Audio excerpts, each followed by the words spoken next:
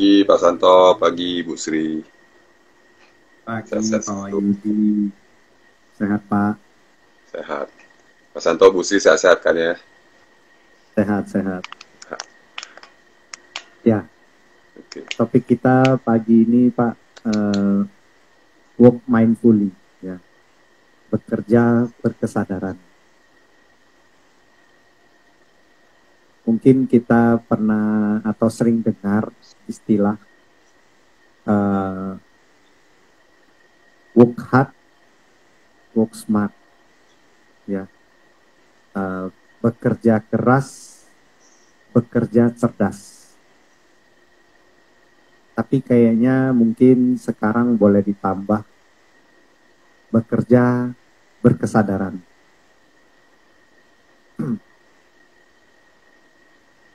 Karena menurut saya bekerja keras ataupun mau bekerja cerdas, kita perlu men, uh, mampu untuk bekerja sadar, work mindfully, bekerja dengan berkesadaran.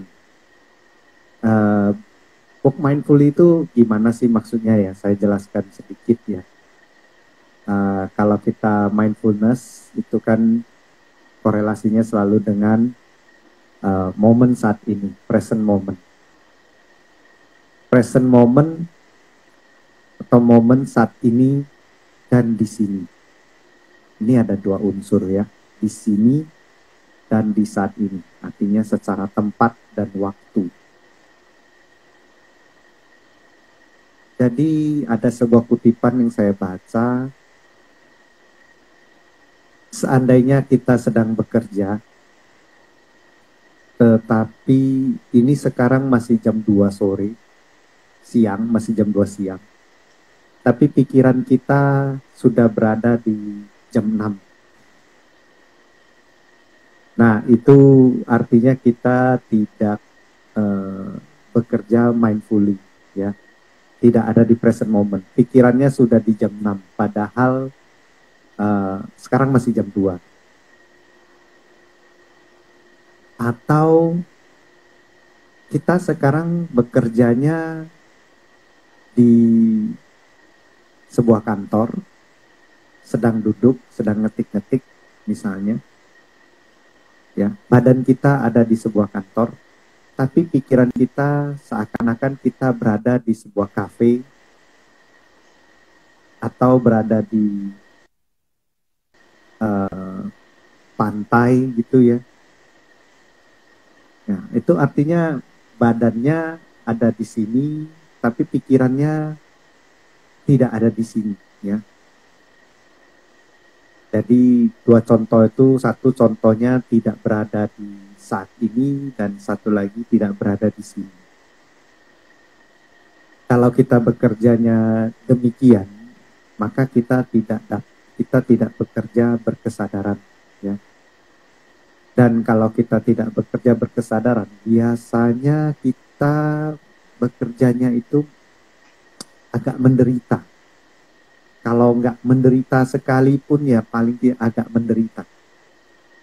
Ya bayangkan ya kalau kita duduk bekerja masih jam 2 nih, tapi pikirannya udah di jam 6 gitu, udah di jam 7 membayangkan saya mau ngapain di mana gitu ya kan. Nah itu badan itu itu badan saat ini ada di sini tapi pikirannya udah udah tidak di saat ini. Itu kan sengsara sekali kayaknya aduh mau cepet-cepet selesai aduh kok masih jam 2 sih kok lama sekali ya gitu. Dengan demikian kalau kita mau bekerja ya bekerja keras dan bekerja cerdas kita perlu belajar dulu untuk bekerja sadar. Sadar selalu berada di momen saat ini, ya, dan di sini.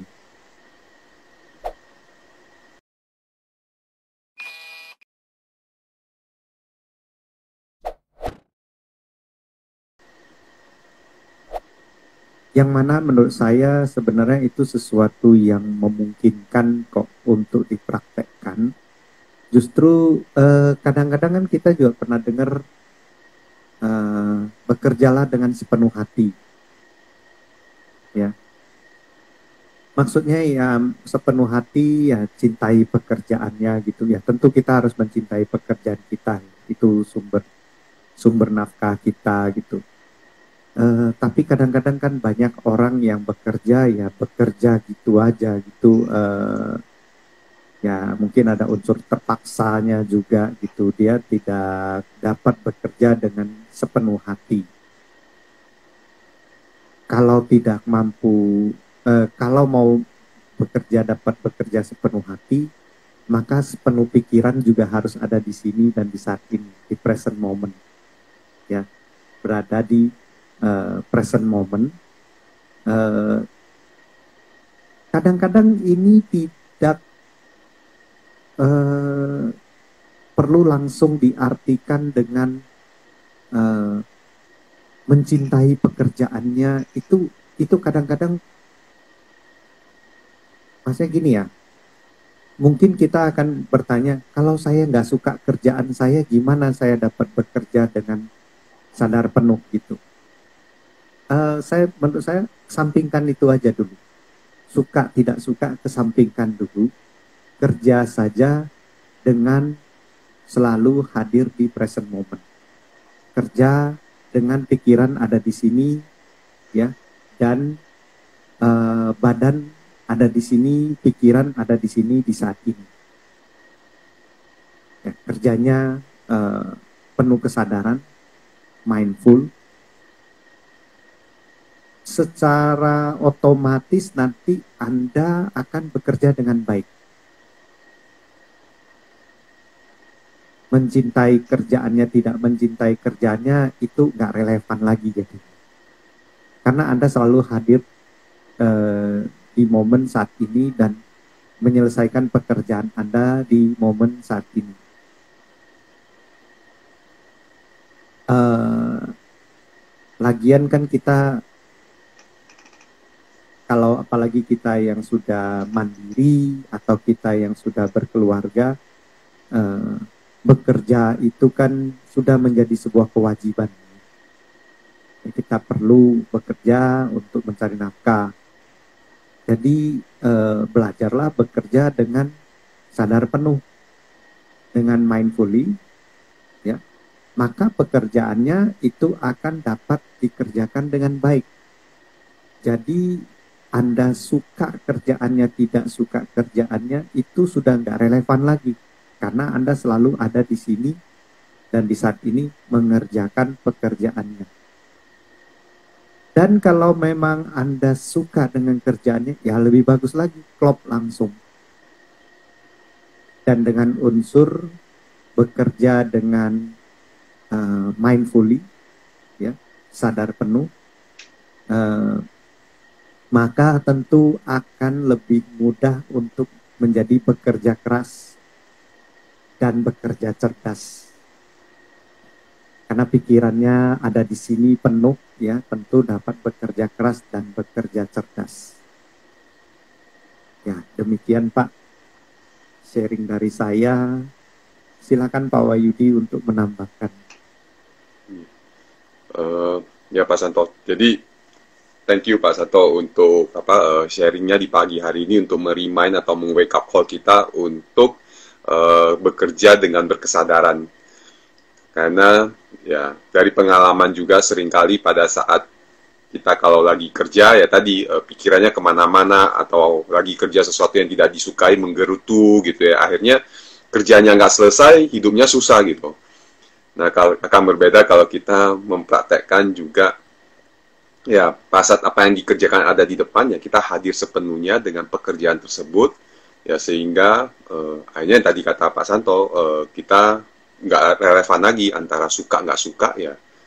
Karena kita hadir sepenuhnya maka membuat kita jadi mampu mengerjakan pekerjaan itu dengan baik gitu. Kadang-kadang membuat kita jadi uh, tidak mengerjakan pekerjaan itu dengan baik karena ya pikiran kita terlalu sibuk dengan uh, apa menggerutu atau tadi ke, terlalu nanti mau ngapain atau kemarin kenapa gitu atau ya akhirnya nggak berada sepenuhnya dengan pekerjaan tersebut. Tapi pada saat kita mampu hadir sepenuhnya dengan pekerjaan tersebut, ya seperti kata Pak Santo, ya kita akan benar-benar akan mampu mengerjakan pekerjaan itu dengan baik, tidak ya work hard dan apa uh, work smart itu ya bukan soal itu gitu ya, tapi benar bagaimana kita benar-benar hadir sepenuhnya ya terjadilah work hard dan work smart itu di saat bersamaan gitu. Thank you, thank you Pak Santo. Thank you Pak Wahyudi. Ada yang mau ditambahkan? Oke, kalau memang uh, sudah dari Pak Wahyudi, ya dari saya juga sudah cukup, uh, tidak ada lagi. Uh, mungkin uh, sampai di sini dulu sesi kita pagi ini ya. Uh, terima kasih teman-teman yang sudah bergabung dan uh, kalau ada yang mau mengusulkan topik, boleh silakan di chat ya ke House of Mindfulness. Uh, boleh diusulkan atau ada pertanyaan juga boleh nanti uh, saya akan usahakan jawab ya, ya terima kasih uh, terima kasih Pak Santo terima kasih ya. terima kasih teman-teman semua saya izin ya. ya saya uh, akan tutup sesi kita pagi ini dengan mendengar tiga bunyi genta. thank you